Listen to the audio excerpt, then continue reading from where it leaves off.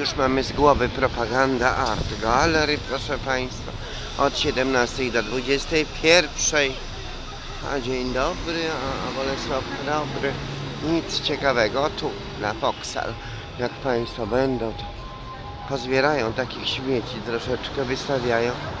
I tak, ani dzień dobry, ani do widzenia, ani przypiął, ani przy, przyłatał.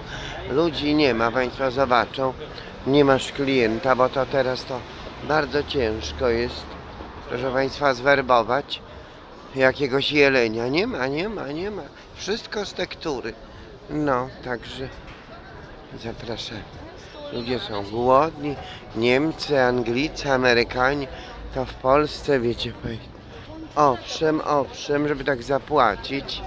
No to, ale to mało kto się decyduje na to, żeby to tak o zapłacić.